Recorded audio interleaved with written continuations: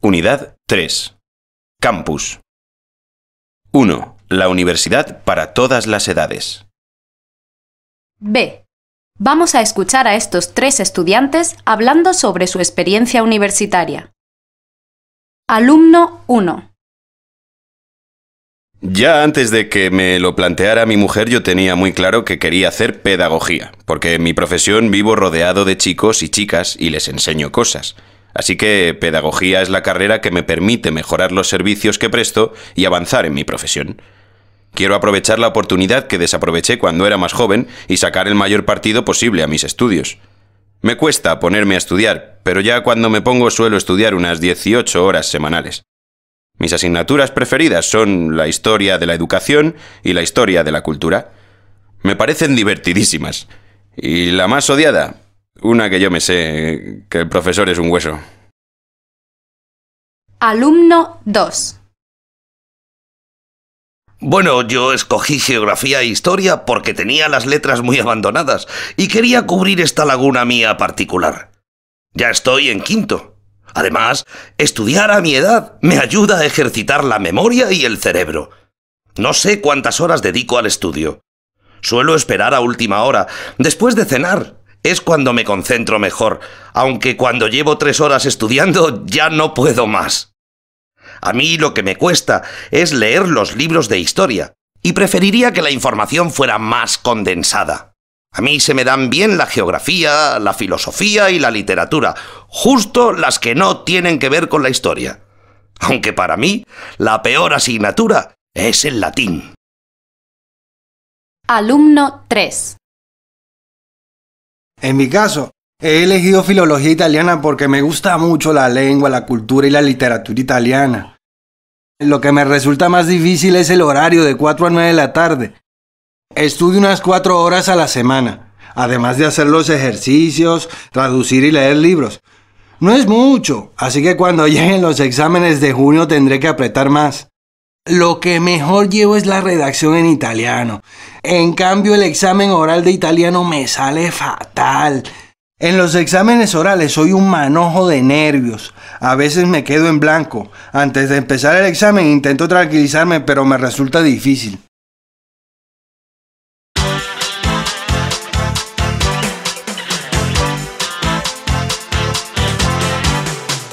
Vídeo. España en directo. España es universidad.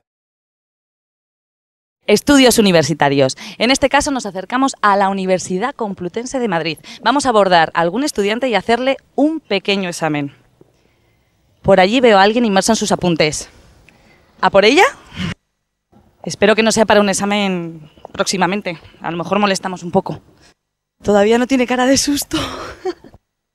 Hola, ¿cómo te llamas? María, ¿Estudias en la facultad de? de Ciencias de la Información, ¿Y qué carrera estudias? Eh, tercero de Periodismo. ¿Qué hay que hacer para eh, entrar a la universidad?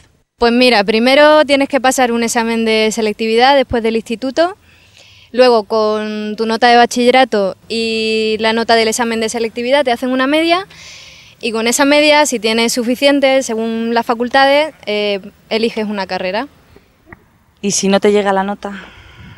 Pues si la nota no te llega, o eliges otra carrera o vuelves a repetir el examen de selectividad en septiembre. ¿Cuántos años dura una carrera? Normalmente son cinco años, pero también puedes hacer una diplomatura que, es de tres años, ¿sabes? ¿Y cuántas asignaturas tienes? Pues mira, yo este año tengo 14, pero básicamente son 10 asignaturas, 11 obligatorias y luego algunas optativas. ¿Y cuántas horas a la semana? Un montón de horas. Son como 6 o 7 horas al día, eh, de 8 de la mañana a 3 y luego otra vez por la tarde. Y no sé, en total a la semana serán 25 horas o más. ¿Cuál es el sistema de exámenes? Pues bueno, depende. Unas asignaturas te examinan por parciales, otras eh, te lo juegas todo en junio. Sí, y otras que están muy bien porque te evalúan por trabajos que entregas, ¿sabes? Y asistencia a clase y eso, que está muy bien, pero son pocas. Y ya por último, ¿cuánto cuesta una carrera?